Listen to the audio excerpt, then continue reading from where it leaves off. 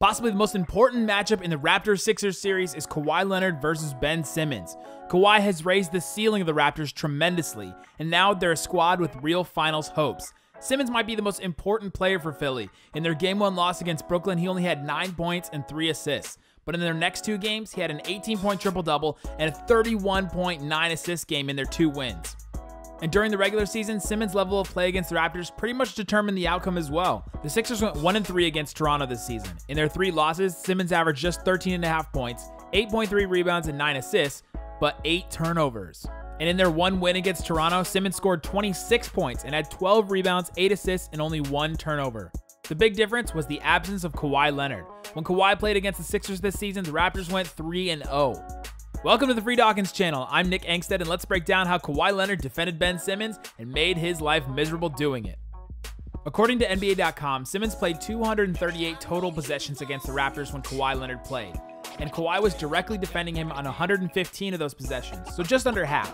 According to NBA.com's matchup data, in those possessions, Simmons scored 17 points on 7 of 15 shooting from the floor, no shots from 3 obviously, had 10 assists and 9 turnovers. During the regular season, Simmons averaged 9.9 drives per game, but he barely ever drove against Kawhi. And when he did, he barely ever looked to score. I mean, this guy is typically the master in a numbered situation, Simmons. 14 points for Leonard. You see the shooting. And B tries to answer with a three-pointer. The few times he was able to get a shot off, it was normally because Kawhi bit on some kind of fake, which barely ever happens to work and tire down a little bit more. And when you don't have that aspect in the game, it's a little bit tough to have to guard and meet him. Maybe a double team. Or he was forced to take a jump shot he wouldn't normally take. The Bucks still unbeaten at 7 0. Simmons is so much bigger than Kawhi that he should have more success against him in the post, but he hasn't really added a post up to his game yet. And by my count, he only tried to post up like four and a half times against Kawhi. These Raptors Nice entry pass, and Simmons goes reverse. Yeah, two minutes to go. And Simmons can't get.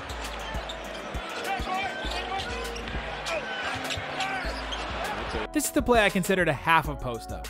Simmons seals off Kawhi and gets between him and the basket. Kind of a post up and kind of just a lob.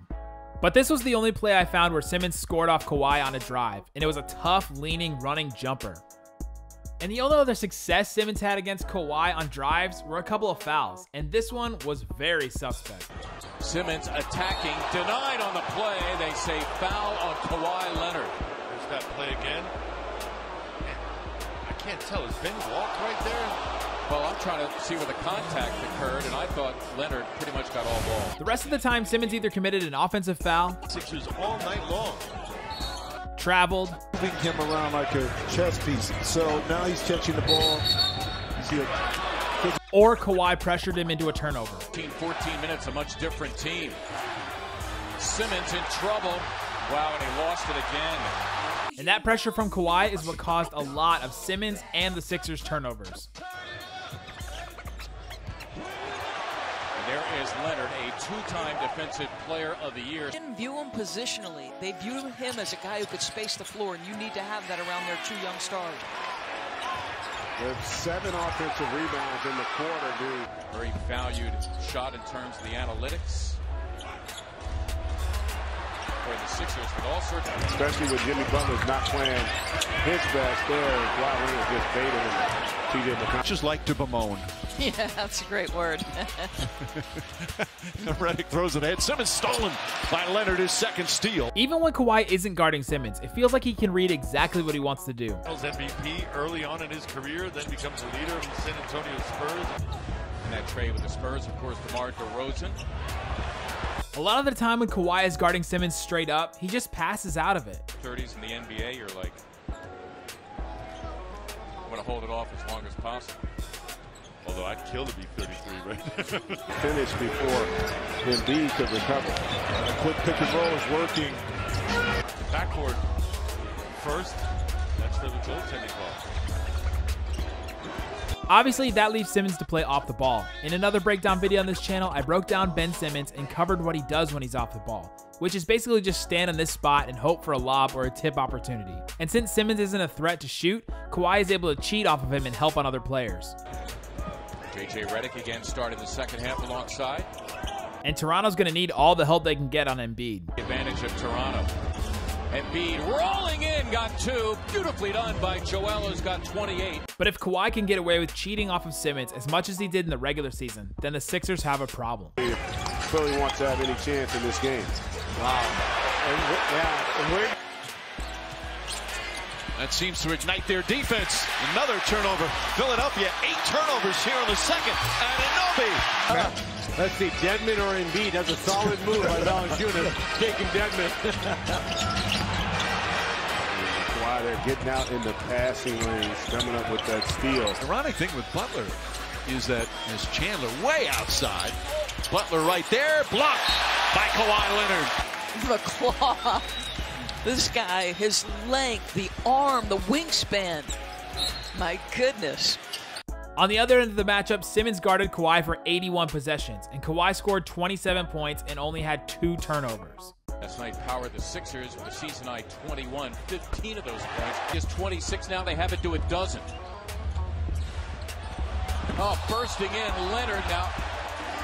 They're going to count that and a foul as well. Now go to work. Leonard thinking three. There it is. You can see the play. Intentional. Draw and kick to Kawhi. The nice pump fake gets his shoulders squared, feet settled, and makes every bit of those three points count. Kawhi from the corner. Jimmy Butler goes for 16, and then Kawhi was absolutely dynamic. 21 points on 8 of 12 shooting. He's the only Raptor who hit a three. And what you're doing defensively, Philadelphia, They're looking for is for both to be healthy enough to really get back to what they were playing at the beginning of the season. When, These are limited sample sizes, but Kawhi has owned this matchup this season, and it could determine the outcome of this series. Comment below, what's the most important matchup in the Raptors vs. Sixers series? Is it Kawhi versus Simmons, Gasol and Ibaka versus Embiid, Jimmy Butler versus Kawhi, Pascal Siakam versus Simmons, or something else? If you enjoyed this video, please join 1 million other NBA fans and subscribe to the channel for more NBA breakdowns like this, and of course, the best NBA highlights on the internet. And you can follow me on Twitter at Nick Van Exel, and you can follow Dawkins at DawkinsMTA. Thanks for watching. Boom.